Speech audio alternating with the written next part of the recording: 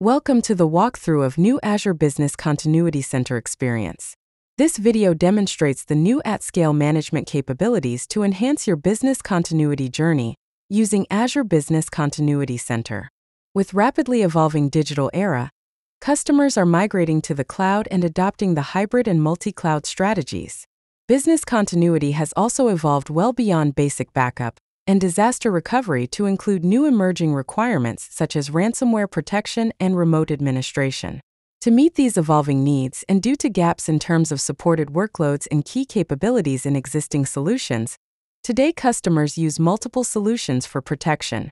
With the distributed nature of environments and data across on prem and public clouds, there is a pressing need to consolidate BCDR of the entire data slash app estate while retaining the flexibility of choosing the most suitable solutions to protect different workloads. Let's delve deeper into these challenges, examining them through the perspective of Contoso. Contoso is a large organization with 100 Azure virtual machines running SQL Server, recently migrated to the cloud. They are planning to use backup via Azure Backup and disaster recovery via Azure Site Recovery to meet their 60 minute RPO and 24 hour RTO requirements. But today, each of their admins experience a lot of challenges. Today, Allison faces manual overhead navigating through siloed interfaces of various BCDR solutions, making it difficult to determine the current state of protection and perform the actions. Even Matt, the BCDR operator at Contoso encounters daily monitoring hurdles due to fragmentation within each solution, making it hard to quickly identify failures in meeting business continuity SLAs. Similarly, John, the security administrator, experiences manual overhead as there's a lack of central and scalable experiences to manage security settings, adding to the administrative burden for all three administrators at Contoso. Following walkthrough shows how Azure Business Continuity Center helps them with these challenges. Contoso has three scenarios and goals. First, Allison their BCDR admin, needs to identify the resources with gaps in protection, and to configure the protection with the adequate settings ensuring business continuity when disaster happens. As required, she will be performing core actions for protected resources like restore failover. Second, Matt, BCDR operator want to quickly monitor and troubleshoot issues that impact their downtime. Contoso admins also requires evidences of protection details to use in internal and external audits. Lastly, John, the security admin wants to ensure business is safeguarded from attacks both internal and external. Let's delve into scenario 1 to see how Azure Business Continuity Center helps Allison discover the resources with protection gaps and perform core actions. To use Azure Business Continuity Center, the admins can just navigate to Azure Portal and search for Azure Business Continuity Center to get started.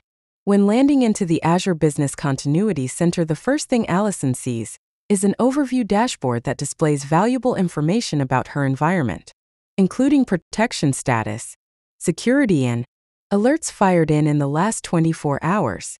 This comprehensive overview snapshot of your environment lets her identify if any areas require immediate attention. Allison clicks on Protectable Resources to explore the further details for resources which lacks the protection. The view provides inventory of all the resources that are not currently protected by any solution. Allison wants to protect few new virtual machines, so proceeds by clicking on Configure Protection. In the Configure Protection flow, she selects Azure Backup Solution for protecting her resources and clicks on Continue. That takes Allison through the existing flow of backup for protection and there she completes the journey and protects the virtual machines. Alternatively, Allison can also leverage Copilot for Azure Business Continuity Center to assist her in retrieving protection and security level details, as well as executing necessary actions. After the completion, Allison sees her virtual machines are showing up protected by Azure Backup in Protected Items View. Protected Items View serves as centralized and at scale view for overseeing the protection landscape, offering a unified perspective across various solutions, along with the ability to perform core actions from the centralized place. The actions performed like configure protection, recovery, etc. must be validated to see those succeed or failed. In scenario 2, we will see how Matt can monitor all those actions across the solutions from single place in Azure Business Continuity Center and troubleshoot to fix the issues. We will also look at how he can produce evidences for compliance using Azure Business Continuity Center. Matt is responsible for daily monitoring of protection tasks and troubleshoot to fix any issues. So far, he navigated through multiple interfaces, but now with Azure Business Continuity Center, he can simply use monitoring views to monitor all actions triggered across the solution from single place. Jobs View in Azure Business Continuity Center helps him see all actions triggered along with their live status. Matt can also click on any of the failed jobs to understand the reason and steps to fix the issues. Matt could also create alert rules which monitors the data and captures a signal, and can notify him via email, SMS, or can even integrate it with the ITSM tools.